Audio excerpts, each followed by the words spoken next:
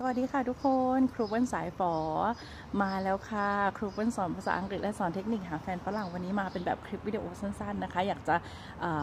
ตอบคำถามเล็กๆน้อยๆให้กับเพื่อนๆแฟนเพจที่ส่งข้อความเข้ามาถามกันหลายๆคนเนาะหลายคนเนี่ยส่งข้อความเข้ามาแล้วก็คอมเมนต์มานะคะ แต่จะมีคอมเมนต์หนึ่งที่เป็นประเด็นมากแล้วครูเปิลอยากจะมาตอบเป็นเป็นโดยรวมในคลิปวิดีโอนี้แล้วกันนะคะ ต้องบอกว่ามีบางท่านเนี่ยเขาครูเปิ้ลครูเปิ้ลเนี่ยทำเพจมีขึ้นมาหรือหลาย ๆ คนที่ติดตามเพจครูเปิ้ลมาเกือบตลอดเกือบ 3 ปีน่ะนะคะจะรู้ว่าครูเปิ้ลสอนเทคนิคหาแฟนฝรั่งในเว็บไซต์หาคู่คือหาได้ด้วยตัวเอง แล้วก็สอนภาษาอังกฤษออนไลน์นะคะ และทีนี้มันก็จะมีบางคลิปวิดีโอหลาย ๆ ท่านที่ยังไม่เข้าใจในการเล่นเว็บไซต์หาคู่อย่างจริงจัง อันนี้ครูเปิ้ลอยากจะบอกว่าทุกท่านสามารถดูได้ในคลิปวิดีโอหลัง ๆ ที่ครูเปิ้ลสอนหรือว่า คุณจะเข้าไปในกลุ่มปิด Facebook ที่มีชื่อว่าเนรมิตแฟนฝรั่งได้ด้วยตัวเองโดยครูเปิ้ลกลุ่มนี้ครูเปิ้ลเปิดสอนฟรีนะคะ เข้าไปในกลุ่ม แล้วก็ไปดูในสารบัญในโพสต์ต่างๆ ที่ครูเปิ้ลโพสต์ให้ก็จะมีทั้งวิธีการเล่น วิธีการสร้างโปรไฟล์ในเว็บไซต์หาคู่ แล้วก็ทั้งในเรื่องของการเขียน master list คู่ชีวิตเองนะคะ จนมาถึงทุกวันนี้ต้องบอกว่าที่ครูเปิ้ลมาอยู่ทุกวันนี้ หลาย ๆ คนจะติดตามหลาย ๆ คนก็บอกว่าเฮ้ยขอบคุณมาก ๆ เลยครูเปิ้ลเป็นไอดอลหรือครูเปิ้ลแบบเฮ้ยเป็นแบบว่าอยากมีชีวิตที่ดีอยากมาอยู่ต่างประเทศอยากมีลูกสาวตัวน้อยอะไรเงี้ยครูเปิลก็ต้องขอบคุณมาก ๆ เลยนะคะ แต่มันจะมีบางคำถามที่บอกว่าเขามาคอมเมนต์มาว่าการอะไรนะฝรั่งที่ดีๆ จะไม่เล่นในเว็บไซต์หาคู่อ่าอันนี้แหละที่เป็นคำถามที่ครูเปิลรู้สึกว่าเฮ้ยต้องมาตอบในในคลิปนี้บ้างแล้วฝรั่งดีๆ จะไม่เล่นเว็บไซต์หาคู่ หมายความว่ายังไงคือ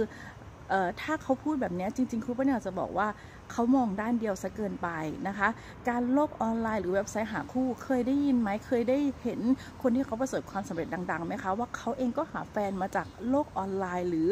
โลกโลกออนไลน์เหมือนกันคือไม่ว่าคำว่าโลกออนไลน์ไม่ว่าจะเป็นเว็บไซต์หาคู่ เป็น dating website เป็น Facebook เป็น Instagram หลาย ๆ อย่าง หรือแม้กระทั่งอะไรนะบ้านแอปพลิเคชันอื่น ๆ ที่คุณเล่นอะหลาย ๆ คนที่เขาประสบความสำเร็จแต่งงาน แล้วก็มีชีวิตดี ๆ แล้วได้ทำคือดีขึ้นกว่าเดิมอะค่ะ เขาก็บางคนคือบางคนหรือ หรือบางคนหรือส่วนใหญ่ก็ว่ากันไปเขาก็เจอมาจากเว็บไซต์หาคู่ ครูเปิลเองก็เป็นคนหนึ่งค่ะที่เจอแฟนนะคะ ในเว็บไซต์หาคู่ เพราะครูเปิลก็ต้องบอกว่าตัวโดยส่วนตัวเราเนี่ยเราอยู่โคราชนะคะ เป็นคนโคราชสาวโคราชเนี่ยเราไม่ได้มีโอกาสที่จะเจอฝรั่งเยอะแยะเลย เพราะฉะนั้นเราจึงเลือกช่องคือโลกมันเปลี่ยน ถึงบอกว่าโลกมันเปลี่ยนช่องทางใน social media หรือโลกออนไลน์เนี่ยมัน worldwide ค่ะมันทั่วโลก ไม่ว่าจะอยู่มุมไหนเราก็สามารถเจอกันหากันได้ เพราะฉะนั้นการที่คุณบอกว่า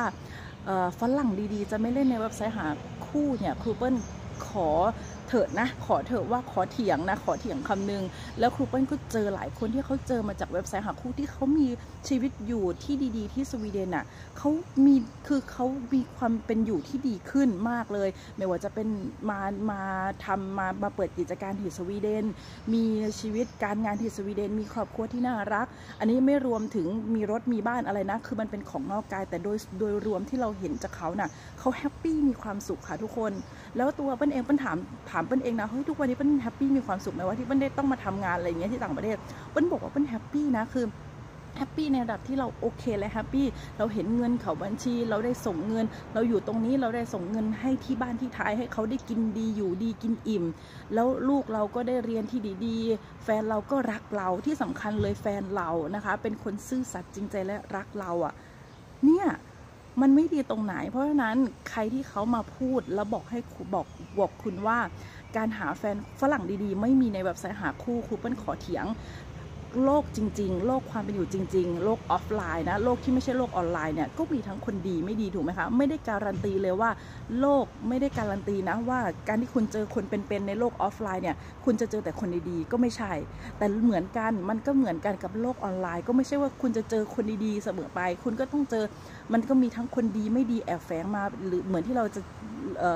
รู้กันว่าเขาเรียกว่าสแกมเมอร์หรือพวกมิจฉาชีพพวกต้มตุ๋นหลอกลวงนั่นเอง เพราะฉะนั้นการทุกอย่างค่ะ เราต้องศึกษาคนเราต้องเรียนรู้คน เราต้องดูคนเราต้องแบบเราต้องศึกษาคนอะดูคนแล้วก็ใช้เวลานานๆ ไม่ใช่หมายความว่าการที่จะอุ้ยอยากได้สามีฝรั่งต้องเข้าเว็บไซต์หาคู่อย่างเดียว มันเป็นช่องทางหนึ่งนะ หลายคนเลือกที่จะไปทำงานในสถานที่ที่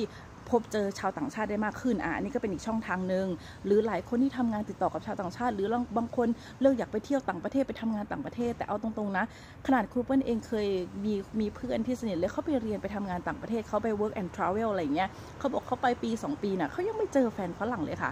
เพราะอะไรรู้ไหมเพราะว่าบางคนอยู่ต่างประเทศสวีเดนเองนี่ยยังมาเคยบอกครูเปิ้ลแล้วครูเปิ้ลช่วยหาแฟนให้หน่อยขณะเขาอยู่สวีเดนนะ มันไม่ได้เรื่องง่ายที่จะหาแฟนฝรั่ง มันไม่ใช่ขนาดเราอยู่นะตรงตรงเนี้ยไม่ใช่ว่าทุกคนที่เนี่ยฝรั่งรอบกายไม่ใช่ว่าจะได้จับใครก็ได้มาเป็นสามีเป็นแฟน ไม่ได้นะทุกคนนี่การสิ่งหนึ่งที่วันอยากจะบอกเลยว่า ขนาดเราอยู่ตรงเนี้ยอยู่เมืองต่างชาติเมืองฝรั่งมีฝรั่งมังค่ามีฝรั่งตาดำข้าวเต็มเลยอะคนโสดคนไทยที่โสดก็ยังมีค่ะ แม้แม้แต่ฝรั่งที่โสดก็ยังมี เห็นอะไรไหมเพราะฉะนั้น มันอยู่ที่ความตั้งใจและการที่เราเปิดใจหรือเปล่าว่าตาเราหรือความตั้งใจเรามองหาจริง ๆ หรือเปล่าการมองหาคู่ที่ดี อันนี้สำคัญที่สุด แต่มองหาคู่ต่างชาติที่ดีเนี่ยนะคะ อันนี้ก็คือ step ต่อมาที่จะสำคัญเพิ่มขึ้น มันไม่ใช่คู่ธรรมดาแล้วเป็นคู่ต่างชาติด้วย เพราะฉะนั้นการที่มีคู่ต่างชาติเนี่ย การที่เราจะพูดคุยเรียนรู้ว่าวัฒนธรรมไลฟ์สไตล์การเป็นอยู่ครอบครัวเขาเนี่ยหนึ่งเลยคุณต้อง communicate กับเขาได้สื่อสารพูดคุยกับเขาได้ เพราะฉะนั้นการที่ หลาย ๆ คนมาหาครูเปิ้ลบอกว่าเฮ้ยสามีอะไรแฟนฝรั่งหรืออยากได้แฟนฝรั่งแต่ภาษาอังกฤษพูดไม่ได้เลยเนี่ยเราต้องไปกลับไปทบทวนละว่า การที่เราพูดไม่ได้แล้วเราจะติดต่อสื่อสารกับเขายังไง โลกปัจจุบันนี้นะมันเพราะว่าเราติดต่อสื่อสารผ่านทางเรียกว่าแล้ว ติดต่อผ่านโลกออนไลน์ถูกไหมคะ เพราะฉะนั้นโลกออนไลน์เราไม่ได้เจอตัวเป็นๆเราไม่สามารถใช้ body language ได้ขนาดนั้น แต่เราอาจจะวิดีโอคอลกันได้ เราต่อให้เราพูดภาษาอังกฤษได้ไม่ฉาฉานมาก แต่เราใช้ใช้มือช่วยกินข้าวนอน อะไรอย่างเงี้ยฟังเพลง อะไรอย่างเงี้ยคือคิดคิดคือคือเราใช้ body language ช่วยมันก็จะช่วยได้เหมือนกัน เพราะฉะนั้นอย่าย่อท้อหรืออย่าท้อถอยอย่าเหนื่อยกับการที่เรียนภาษาอังกฤษนะทุกคนต้องไปต่อนะหนึ่งอะสรุปวันนี้เลยก็คือ รูเปิ้ลเถียงขัดใจดิ้นเลยนะ ที่ใครหลายคนมามาแบบมองด้านเดียวหรือมันมันเป็นความคิดหรือเป็นคอมเมนต์ในเชิงลบเกินไปที่บอกว่าฝรั่งดีๆ ไม่มีในโลกออนไลน์ แล้วแล้วคนที่เขาเนี่ยค่ะมีสามีฝรั่งเขามาเป็นมาดามฝรั่งเขามีธุรกิจธุรกิจเติบโตที่เมืองนอกเนี่ยหลายคนเขาก็มาจากเว็บไซต์หาคู่นะคะ เพราะฉะนั้นการที่คอมเมนต์แบบนี้ครูเปิ้ลต้องออกมาชี้แจงว่าไม่งั้นใครที่มาอ่านได้มายินได้ฟังแล้วเขาเห็นความพูด คือถ้าเราเป็นคนเชิงบวก เราจะรู้เลยว่าคำความคิดแบบเนี้ยมันมันค้านในใจไงแต่วันนี้ครูเปิ้ลมา support ให้ทุกคนว่า ทุกคนต้องไปต่อต้องลุยต่อนะคะ สิ่งที่เราคิดเราตั้งเป้าหมายเอาไว้ถ้ามันเรารู้แล้วว่าปลายทางมันดีกับตัวเรา ฉันจะทำให้เต็มที่คุณต้องเป็นคนที่มีความตั้งใจด้วย อะไรก็ตามไม่แพ้ความตั้งใจและความพยายามของมนุษย์เราทุกคนนะเพราะฉะนั้นค่ะ ไม่มีใครให้กำลังใจได้ดีเท่าตัวเราเองครูเปิ้ลส่งกำลังใจให้ครูเปิ้ลเป็นคนหนึ่งที่ที่ตอนนี้ครอบครัวอาจจะไม่ได้แบบโอ้โหเลิศรวยเลิศรูฟ้าเลิศเลิศเลอฟ้า จนไม่ต้องทำงานไม่นะ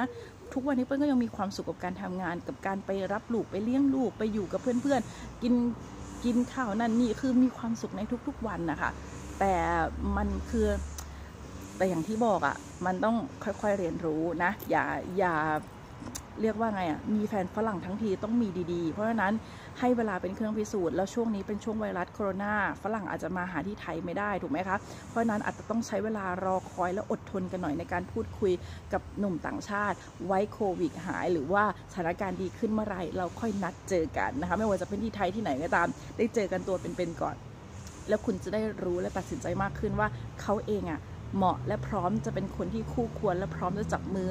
ร่วมทุกข์ร่วมสุขไปด้วยกันหรือเปล่า สุขอย่างเดียวไม่พอเจออุปสรรคเจอทุกข์ก็ต้องผ่านไปด้วยกันให้ได้ ครูเปิ้ลขอ